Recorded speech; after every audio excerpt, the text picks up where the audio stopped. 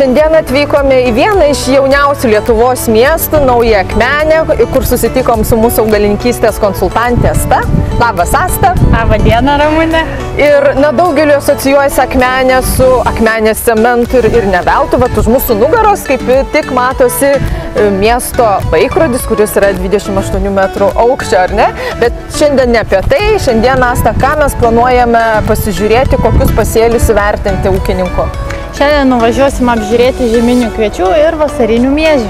Taigi, važiuojame draugė su mumis įvertinti pasėlių ir pasižiūrėti, kaip jie laikosi Žemaitijos rytiniam pakraštyje.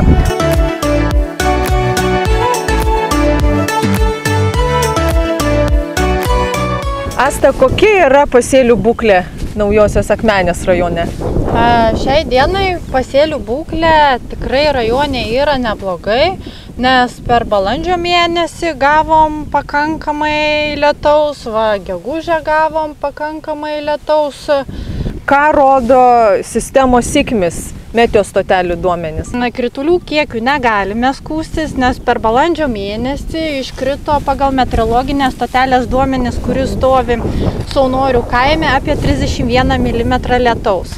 O va, gegužio pradžia prasidėjo su gausiu lietumi ir per gegužės pirmą dieną iškrito apie 19 mm lietaus. Mhm. O šiai dienai jau turime apie 49 mm lietaus. Sakyčiau, tikrai gan neblogai, sausros nėra. Tai džiugu, nu, mes dabar stovime žeminių kviečių pasėlį, rasta dabar vizualiai, kaip, kaip tas pasėlis atrodo. Ta technologinė lentelė pasėlio žiūrovai mato jau ekrane, bet šiek tiek truputėlį smulkiau. Kokias ūkininkas technologijas naudoja būtent šitame lauke? Sėti po žeminių rapsų, žemės dirbimas yra minimalus, skusta du kartus. Pasėlis atrodo tikrai gerai, optimalus e, augalų skaičius kvadratiniam metre yra.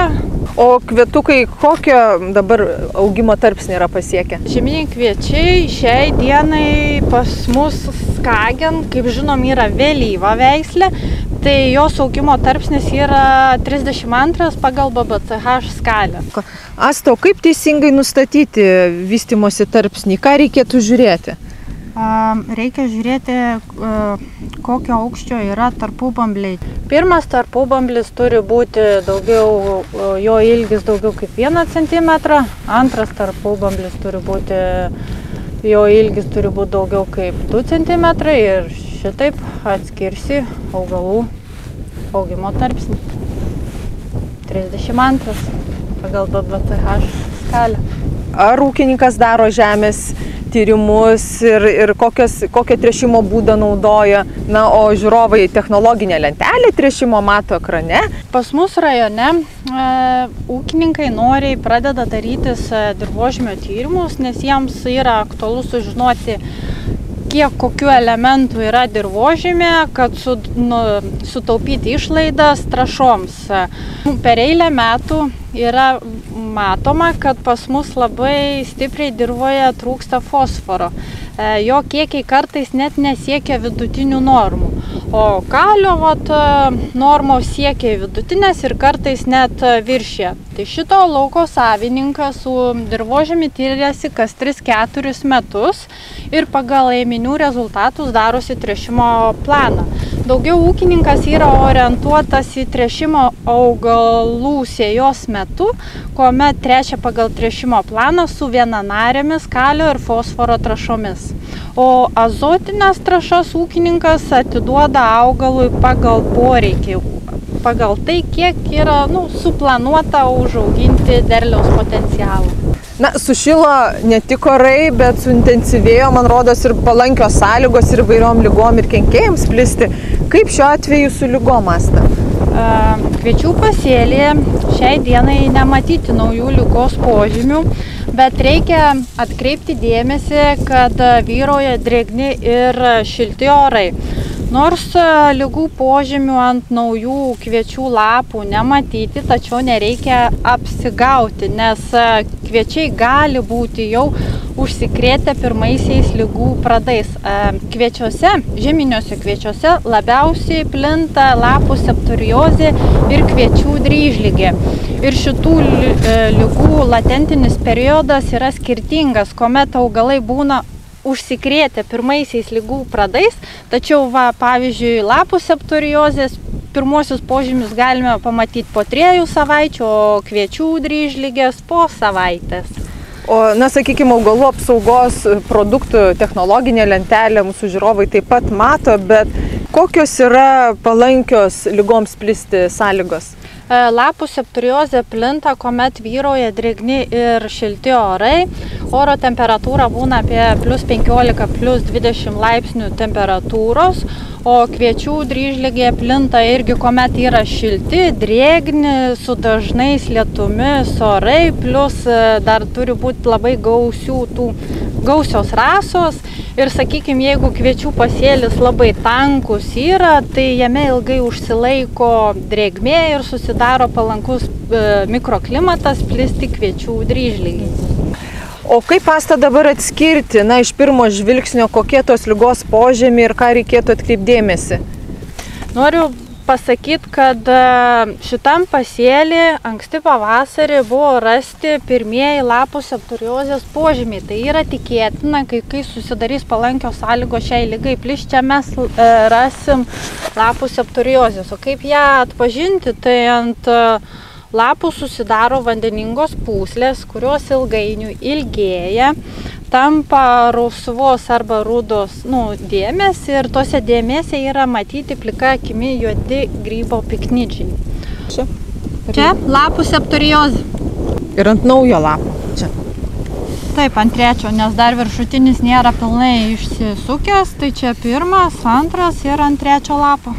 O kviečių dryžlygė irgi yra labai lengva atpažinti ant augalų, nes ant lapų matosi ryškiai geltonos apribotos įvairaus dydžio dėmes, gelsvai rusvos ir tose dėmėse yra dar tamsiai ruda dėmelė. Ką galima kviečiuose naudoti, kokias augalų apsaugos priemonės, kad na, apsaugotume nuo šitų lygų? E, labai svarbu yra pasirinkti tinkamą fungicidą, optimalią jo normą ir nesuvėlinti purškimo. E, šiuo atveju geriausiai yra pasirinkti SDH cheminės grupės fungicidus, kurie savo sudėtėje turi fluksopiroksado, biksafeno, benzovidinflupyro ir taip pat dar iš triazolų grupės tai būtų mefentriflukanazolas, epoksikonazolas ir protiokonazolas ar jų mišiniai. Ir mes fungicidų dėka apsaugome sukurtą žyminių kviečių derliaus potencialą. O kaip pasta yra su kenkėjais pasėlį? Ar jiem palankios plisti sąlygos? Ir... Kol kas šiai dienai žeminių kviečių pasėlėje kenkėjų ne, nematyti, bet tikėtina, kai orai išils, jų turėtų pasimatyti. E, labiausiai žeminiuose kviečiuose e, plinta lemai ir tripsai. Ir jų žala yra ta, kad jie mm, skeletuoja kviečių lapus e, išilgai per lapų gyslas. Ir lemai didžiausią žalą daro, kai kviečiuose pažeidžia viršutinį kviečių lapą. Ir tada jeigu randame pasėlyje lemuliarų, tada patartina naudoti insekticidą. O žalingumo riba kokia būna, kada jau patariama? Lietuvoje mes neturim nustatytos lemų lervų žalingumo ribose, tačiau Europoje kai kuriuose šalyse yra rekomenduojama, jeigu vienam kvadratiniam metre randi apie 15 suaugusių vabalų iki jiems padedant kiaušinėlius arba ant stiebo randi vieną lemų lervą, tada reikia naudoti, Jau naudoti insek... reikia. Taip, insekticidus tada reikia. Na, Asta, atvykome į vasarinių mėžių pasėlį dabar, ar ne? Taip. Ir technologinę lentelę žiūrovai mūsų jau mato ekrane. Labai trumpai papasako, kokią technologiją naudoja ūkininkas. Žemės dirbimas yra rimas. Mėžiai sėti į priesmėlio dirbą. Ir e, literatūroje yra nurodyta, kad miežiai privalo turėti stipres, e, gerai išvystytas šaknis. Nu, dabar žiūrint, koks čia išsivystimo tarpsnis šitų miežių. Aš sakyčiau, kad jau yra krūmymosi pabaiga 29 augimo tarpsnis pagal BBCH skalę, nes jau yra suformuotas optimalus stiebų skaičius.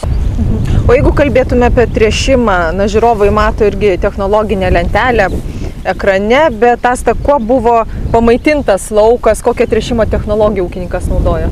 A, miežių sėjos metu ūkininkas taip pat trešia pagal trešimo planą ir dabar dar kol kas šiai dienai čia yra sėjos metu atiduotos vienanarės kalio trašos ir fosforo mhm. Ar ūkininkas taip pat šiame laukia irgi atliko dirbožėmė tyrimus? Taip, atliko taip pat orai šyla, tai turbūt plinta ir tam tikros lygos ir kenkėjai. Ir žiūrovai taip pat augalų apsaugos technologinę lentelę mato ekrane. Asta, ko, ar yra čia lygų, ar galima atrasti kažkokių pradų? A, kol kas taip pat e, nuvilsiu jūs. A, naujų lygų požymių nematyti, tačiau noriu akcentuoti tai, kad visa augalų apsauga nuo lygų prasideda pasirenkant tinkamą beicą. Vasariniai šitie mėžiai yra beicuoti trijų veikliųjų medžiagų beicu ir tas beicas turėtų mėžius e, vėlesniais augimo tarpsniais apsaugoti nuo tinkliškosios dryžlikės ir dulkančiųjų kūlių. Mhm turėtų, na paskui pasižiūrėsit, Taip, ar ne? Ar pagrindinė tikrųjų... lyga, kuri plinta vasariniuose mėžiuose, yra tinkliškoji dryžlygė. Ir tikiu, vėlesniais augimo tarpsniais jos bus, nes tinkliškai dryžlygiai palankios sąlygos yra plisti, kuomet vyroja šilti, drėgni ir lietingi orai, o oro temperatūra yra apie 15, nu, plus 15, plus 25 laipsniai Celsijaus. Asto, kokius reikėtų na, fungicidus naudoti siekiant apsaugoti augalus nuo lygų?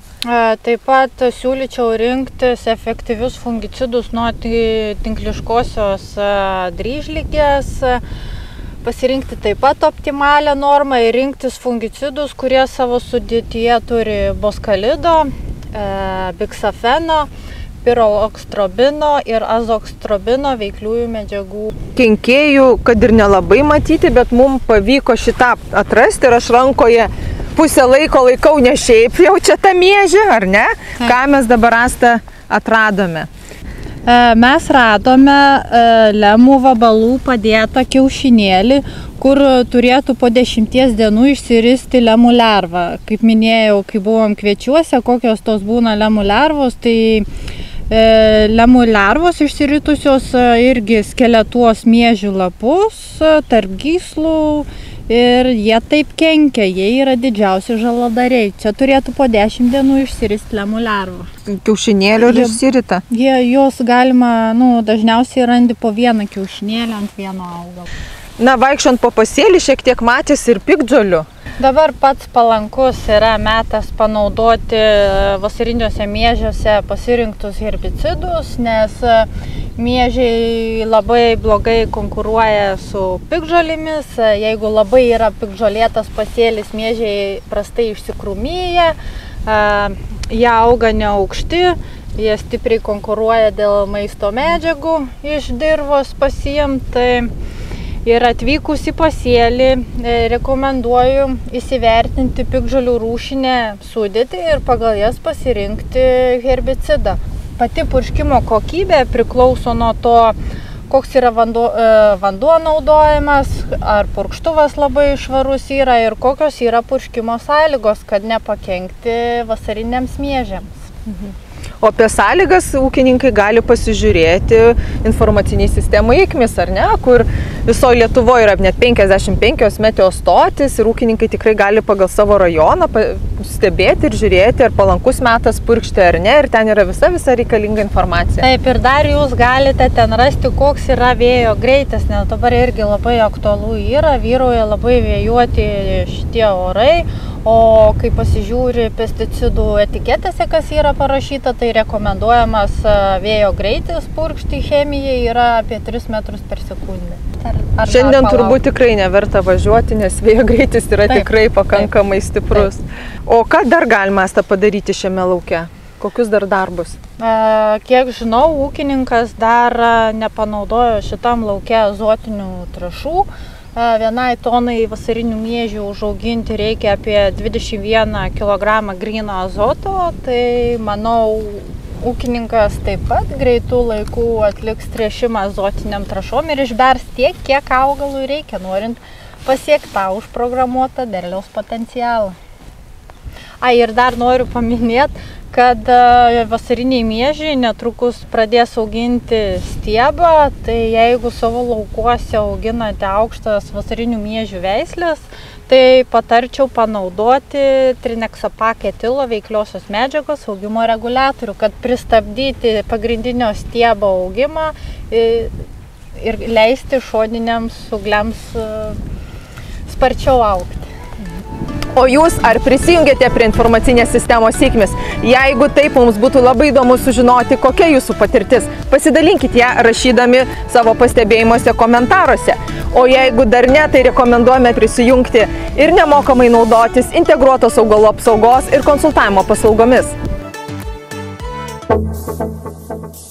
Thank you.